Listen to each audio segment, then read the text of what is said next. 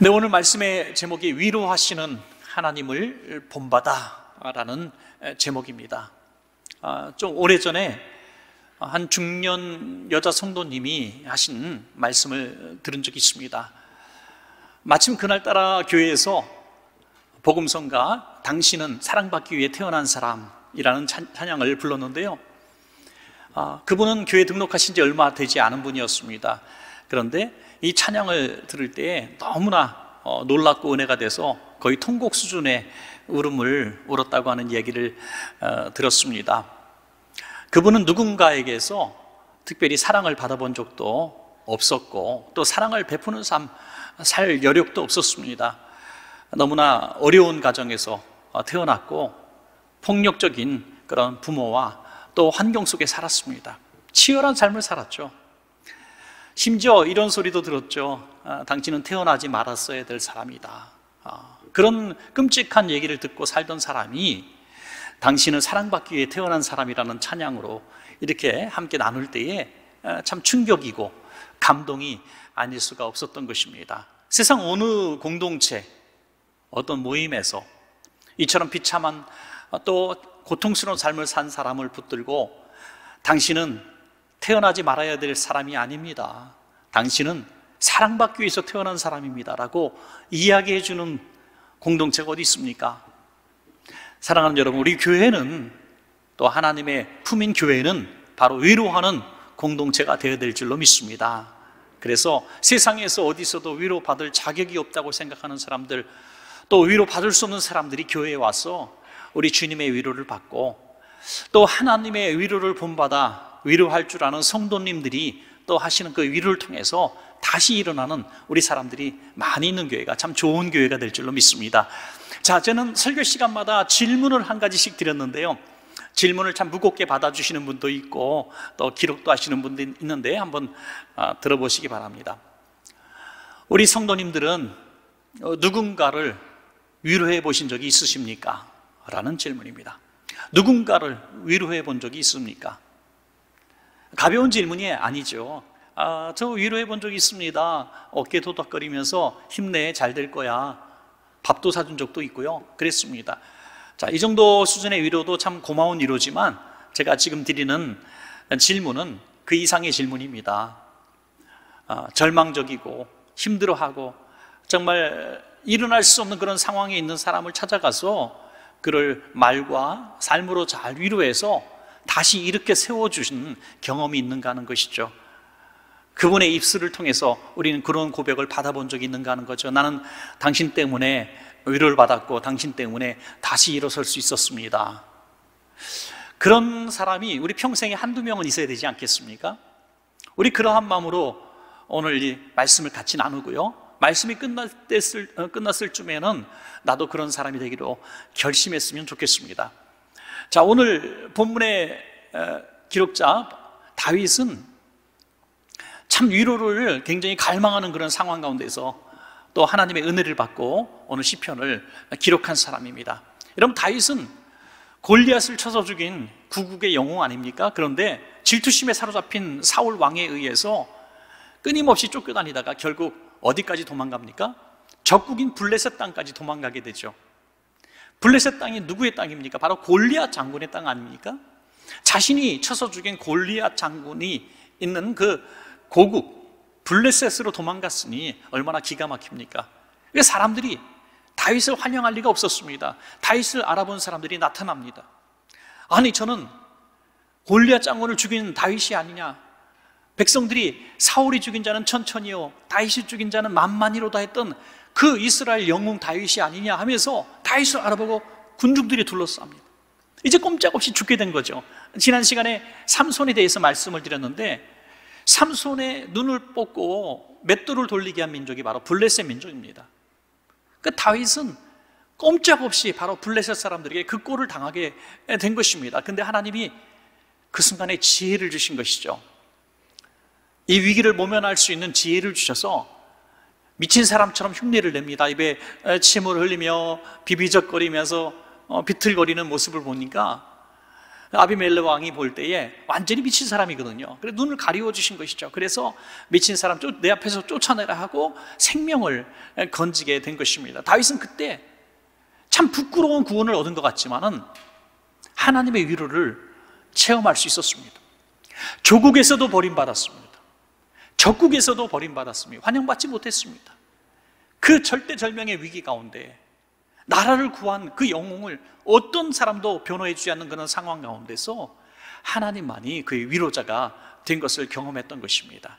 그 경험을 통해서 다시는 오늘 시편, 오늘 34편을 기록했던 것이죠. 오늘 시편 34편에 다윗이 만난 위로의 하나님, 그 하나님이 오늘 저와 여러분의 하나님이시고 저와 여러분이 그런 위로자가 되기를 원하시는 줄로 믿습니다. 오늘 말씀을 통해서 나는 누구를 위로할 것인가? 다윗이 고백했던 그 위로의 하나님을 본받아서 다윗처럼 어, 고통당하고 또 위로가 필요한 사람들에게 우리가 위로하는 우리가 되기로 결심하는 시간 되시기를 부탁합니다. 자, 그러면 우리가 누구를 위로해야 될 것인가? 첫 번째로 두려워하는 자를 위로해야 합니다. 두려워하는 자. 오늘 본문 10편 34편 4절입니다. 우리 함께 같이 읽겠습니다. 시작. 내가 여호와께 간구함에 내게 응답하시고 내 모든 두려움에서 나를 건지셨도다. 아멘. 여러분 두려워하는 사람에게도 어, 위로가 필요합니다. 제가 목사가 된 것이 참 고맙다고 감사한 일이 있다고 말씀드린 적도 있는데요. 그것은 바로 수술 전이라든지 큰 어떤 어려움을 당한 성도님들에게 기도해 드릴 때 참 행복합니다. 어, 제가 뭐라고 그분들이 기도받고 어, 힘을 얻고 용기를 얻었다고 말할 때에 너무나 보람을 느끼죠. 최근에 어떤 교회에서 어, 주변의 소상공인들이 너무 힘들어하니까 어떤 선물 키트를 만들었습니다. 조그만 박스 안에 뭐 제리도 넣고 또 초콜릿도 넣고 또 이런 과자도 넣고 뭐 별로 크진 않은 조그만 선물 박스를 만들었습니다. 그래서 어, 가게세를 내지 못하고 참 문 닫을 위기에 있는 그런 어려운 사람들 또 너무 어려워서 어, 넘어지기 직전에 있는 그런 작은 기업들 이런 주변 주변의 시장 사람들을 찾아다니면서 이 선물 키트를 나눠주는데 거기 뭐라고 써 있냐면 큰 글자로 괜찮아 이렇게 써 있더라. 괜찮아. 뭐가 괜찮다는 거예요? 죽겠는데 예. 지금 가게세를 못 내서 문 닫게 생겼는데 내 퇴직금 다 투자한 식당이 지금 망해서 한 푼도 못 건지게 생겼는데 뭐가 괜찮을까요? 그 안에 초콜릿, 애들 과자 같은 거, 장난감 같은 거 하나 받았는데 놀라운 것은 그게 위로가 되더라는 거예요.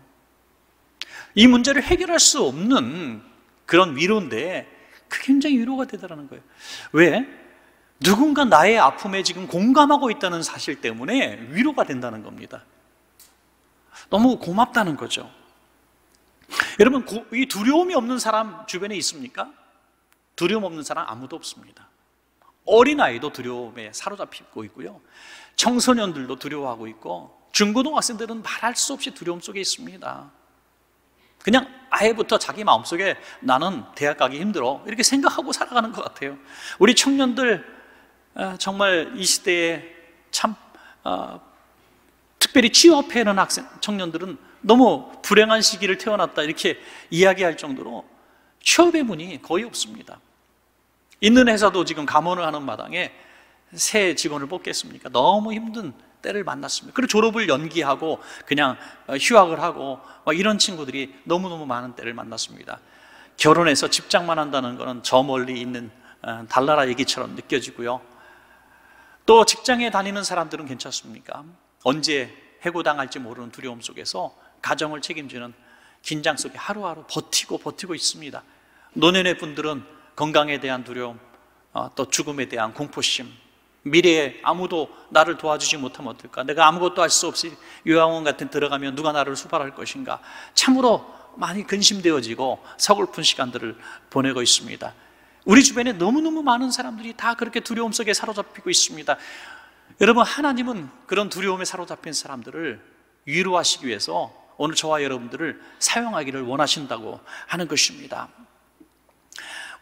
괜찮아. 이것도 대단한 위로지만 마음의 위로뿐이 아니라 그 두려움을 이길 수 있는 하나님을 소개하는 것이 진정한 두려움을 당한 자들에게 위로가 되는 것을 믿습니다, 여러분. 그 문제보다 크신 분을 소개하는 거예요.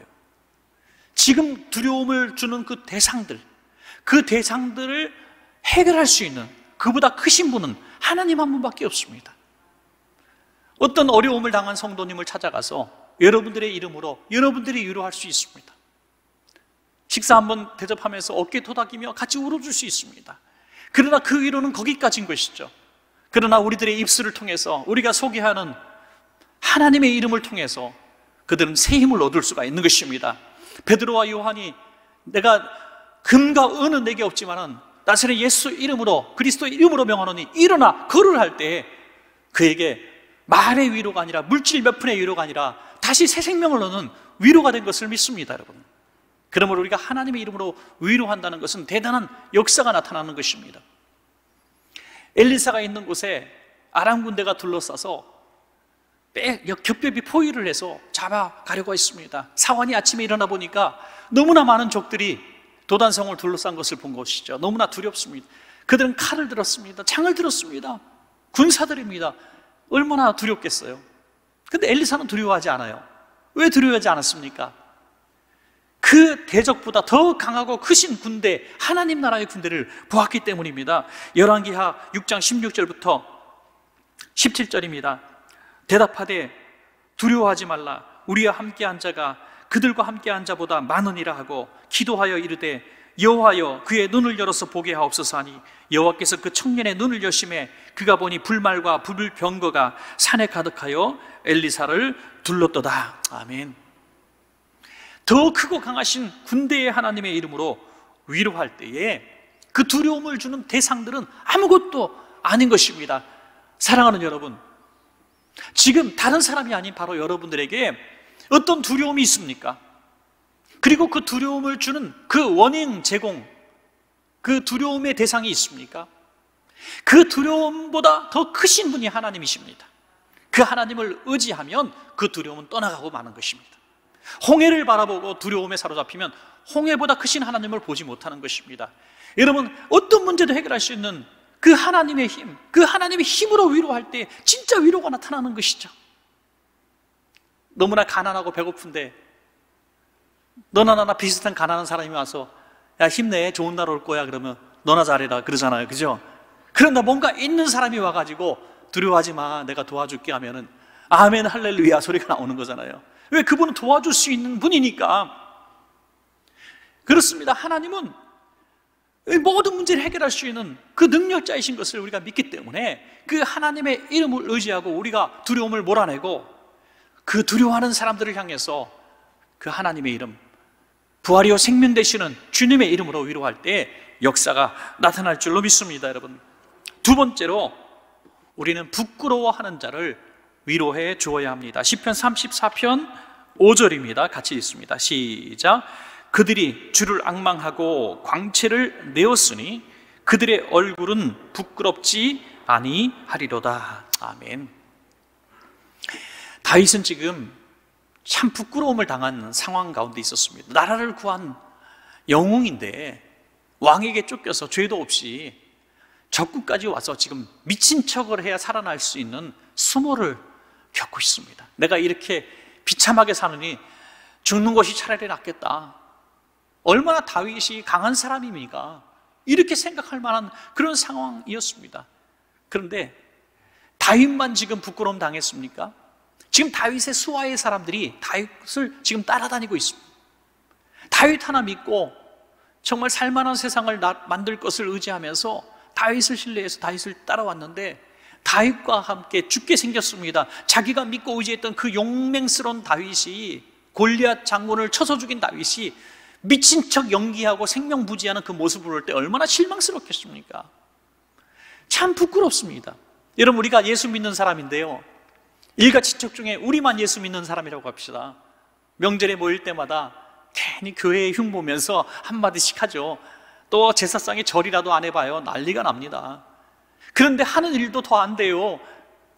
안 믿는 사람의 자녀들은 잘 되는데 예수 믿는 우리 가정은 잘 안 되고 물질도 잘 얻지 못하고 할 때 얼마나 부끄럽습니까? 하나님을 향해서 우린 이렇게 섭섭함을 토로합니다. 하나님, 내가 하나님의 영광을 위해서 안 믿는 모든 가문들에게 복음 전가하려고 하는데 진짜 부끄러워서 내가 복음을 전할 수가 없습니다. 하나님 왜 이렇게 부끄럽게 만드십니까, 하나님? 하면서 하나님 앞에 그렇게 섭섭함을 토로할 수도 있지 않겠습니까? 오늘 다윗이 그랬다는 것이죠. 참 내 얼굴이 부끄러워졌습니다. 근데 하나님의 위로가 임할 때에 그 얼굴에서 광채가 나기 시작했던 것입니다. 할렐루야. 얼굴에서 광채가 나오고 부끄러움이 떠나갔다는 거예요. 이 말씀대로 다윗은 과연 모든 문제를 극복하고 이스라엘의 왕이 됩니다. 왕도 보통 왕입니까? 다른 왕은 하나도 기억 못해도 이스라엘의 왕 한 사람만 얘기하라면 다윗은 안 믿는 사람도 다 얘기합니다. 전에도 없고 후에도 없는 가장 위대한 왕이 되었습니다. 할렐루야. 이 사람이 과연 블레셋 나라에서 미친 척해서 목숨 끊었던 그 부끄러움 당했던 다윗이 맞습니까? 할 정도로 놀라운 다윗이 되었던 것입니다. 여러분, 다윗이 하나님의 영광을 위해서 골리앗을 죽인 사람, 하나님을 모욕하는 그를 볼 수 없어서 나갔던 사람입니다. 하나님의 영광을 위해서 싸웠던 사람이 부끄러움 당할 때에 하나님이 그냥 두고 계시겠습니까? 하나님께서 그의 얼굴에 광채가 나게 하시고 일어나게 하시는 것입니다. 여러분 일가 친척 가운데 예수 믿는 여러분들이 가장 잘 되시기를 축원합니다, 여러분. 잘 될 겁니다. 하나님의 영광을 위해서 함께 부끄러움을 당하고 함께 모욕을 당했으니 하나님이 높이실 날 여러분의 얼굴에 광채가 나게 해서 모든 일가 친척들이 야 예수 믿는 사람 가정이 잘 되는구나 그 외야 고백하는 날 반드시 오게 될 것입니다, 여러분. 참 좋은 글을 누가 우리 교육자 카톡방에 올려주셔서 읽었는데요. 뭐 거두절미하고 한 부분만 얘기하면은 어떤 분이 너무나 하루 일과가 안 좋아서 막 너무 스트레스가 많았답니다. 막 짜증이 나고 힘든 상황 가운데 커피나 한 잔 마시겠다. 카페에 들어가서 커피를 받아서 이제 테이크아웃해서 밖으로 나가는데 문을 열 때 좀 흔들렸던 거예요. 그래서 뚜껑이 잘 닫히지 못해서 뚜껑이 탁 열리면서 커피가 막 쏟아진 겁니다. 손에 뜨거운 커피가 쏟아졌으니 얼마나 화가 나겠습니까? 가뜩이나 지금 너무너무 화가 나 있는 상황 가운데서 손에 커피가 확 쏟아지니까 이 분노를 어디다 표하겠어요?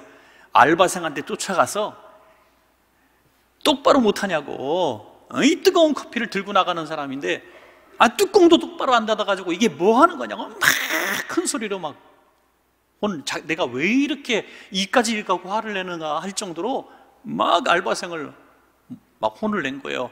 알바생은 어쩔 줄 몰라가지고 막 어쩔 줄 몰라고 막 미안해하고 그런데 놀랍게도 바로 다음에 커피 받아가는 한 중년의 아주머니가 선생님 당신의 커피하고 내 커피하고 지금 똑같은 커피인데 저는 커피를 별로 많이 마시지 않습니다. 그러니 새 커피, 제 커피를 가져가시고 그 커피를 저에게 주세요. 그래서 그냥 얼떨결에 커피를 바꿨대요. 그리고 뚜껑 새로 덮인 온전한 커피를 들고 그냥 부끄러움에 한급하게 카페를 나갔는데 그렇게 그렇게 그게 뭐 슬프고 부끄럽고 민망하다는 내가 왜 그랬지? 내가 왜 그랬지? 그리고 그 아주머니가 너무 위대해 보이는 거예요. 그 짧은 순간에 이 카페 알바생을 향한 위로를 했던 것이죠. 그래서 오늘 원천교회 성도님들은 카페에서 줄 서 계시다가 혹시 그런 사람이 나타나면 제 커피 드세요. 어. 사실 이거는 뭐 내가 계획해서 될 일이 아니죠. 반사적으로 나오는 반사적으로 위로에 익숙한 사람들, 홍당무처럼 당황하고 울 것 같은 그 알바생, 아들 같은 알바생, 그 아이가 내 자식 같고 뭔가 도와주고 싶은 마음이 있는 사람이니까 순간적으로 그런 재치가 나오는 거지. 보통 사람은 그런 아, 순발력 있는 위로가 나오지 않습니다. 여러분, 위로는 순간을 잘 잡아야 되는 거죠. 순간을. 아파하는 순간, 절망하고 있는 그 순간, 그 순간이 지나면 소용이 없는 위로가 참 많아집니다. 가늠하다가 현장에서 붙잡힌 여인이 있었습니다. 사람들은 다 돌로 쳐서 죽이려고 하는 거예요. 이 사람은 당연히 죽어 마땅한 죄인이었습니다. 자, 이 여인을 위로하고 싶은데 위로할 방법이 있습니까? 이 여인이 죄가 없어요.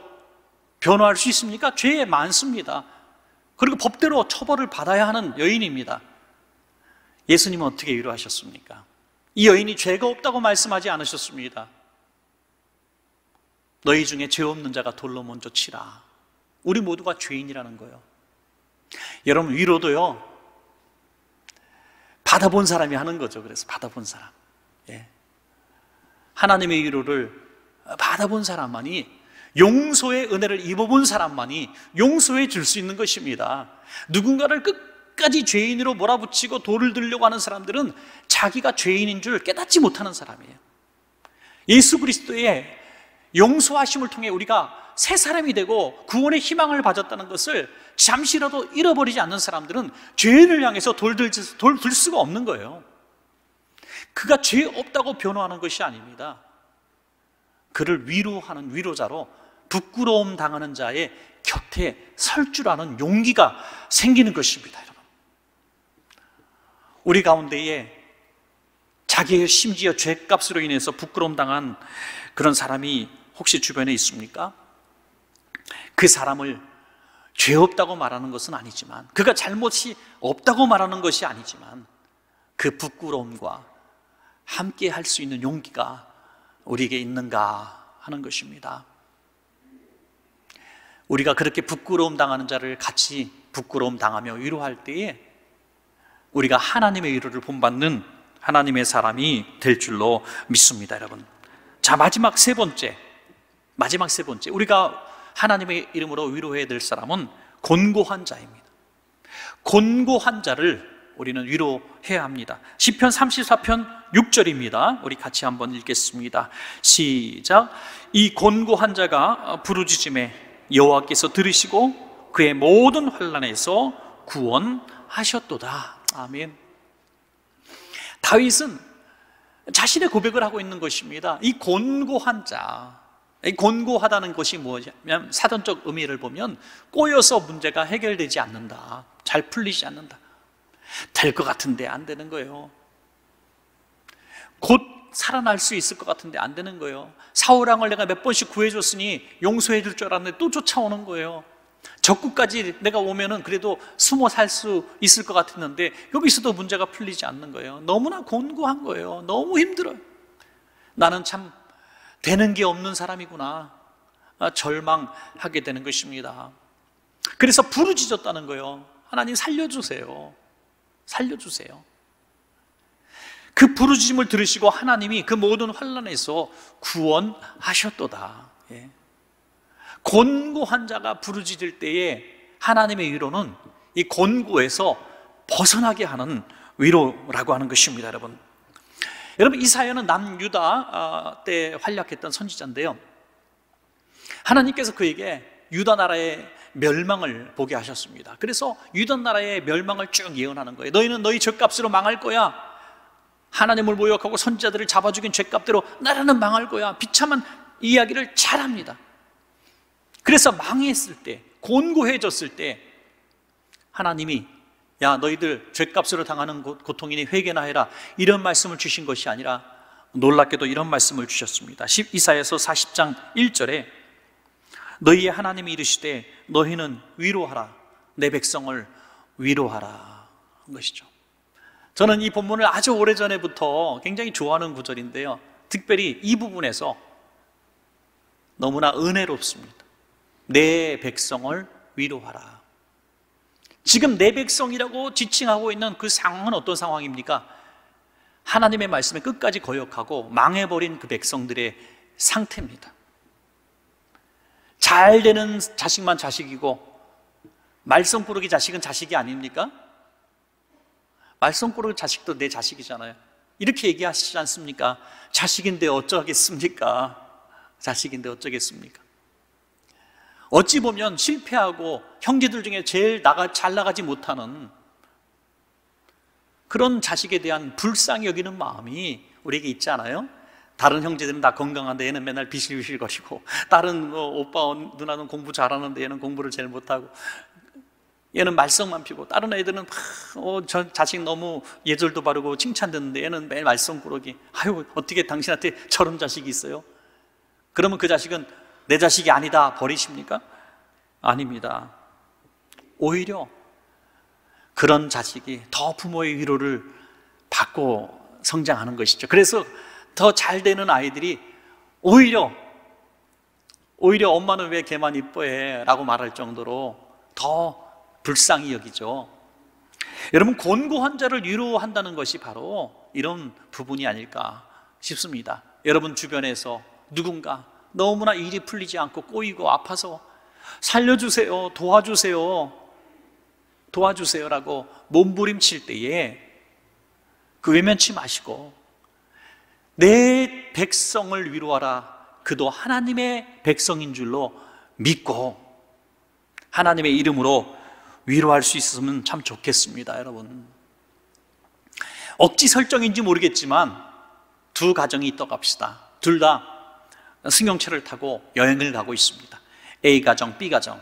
A 가정도 단란한 한 가정이고 B 가정도 한 단란한 가정인데 둘이 다 교통사고를 만났습니다. 그래서 운전 부주의로 인해 교통상을 당하고 둘 다 각각의 자녀 하나씩을 잃었다고 합시다.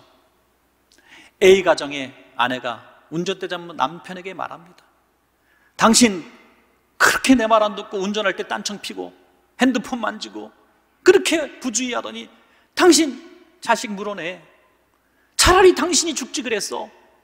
이렇게 하지 못할 말을 한다면 그 가정은 지옥이죠. 지옥입니다. 그런데 B 가정의 아내는 이렇게 얘기한다고 합시다. 당신 잘못 아니에요. 당신 실수할 수도 있고 또 운전하다 그럴 수도 있는 거지. 왜 자책하지 마세요? 당신 잘못 아니에요. 나는 당신이 그래도 살아주어서 너무 고마워요. 자, 선택하십시오. A 가정 할까요? B 가정 할까요? 진정한 위로는요, 곤고한 사람에게 위로가 되는 것입니다. 곤고한 사람. 네. 잘 나가고 문제 없이 행복한 사람에게 무슨 위로가 필요합니까? 버림받고 낙방하고 자책하고 괴로워하고 곤고한 가운데 정말 눈물 흘리고 있는 그를 우리가 하나님 아버지의 이름으로 당신도 하나님의 아들입니다. 당신도 하나님의 딸입니다라고 위로할 때에 이것이 하나님의 위로가 되는 것이죠. 여러분, 우리가 입이 뻣뻣하고 습관이 되지 못해서 잘 얘기 못하는 게 참 많은데요. 옆에 가족이 계시거나 아는 분이 계시면 또 모르시는 분도 있어 연습하는 마음으로 이렇게 한번 인사합시다. 당신이 계셔서 참 감사합니다. 시작. 아멘. 오늘 자존감 만땅 올라가는 날입니다, 여러분. 당신이 계셔서 참 고마워요. 집에 가셔서 여보 하고 불렀어요. 아이고 어저께 나 늦게 술 먹고 들어와서 난 죽을라나 보다. 그래도 술 먹고 집 잘 찾아와서 고마워요. 그래도 당신이 우리 집의 가장이라서 참 감사해요. 네.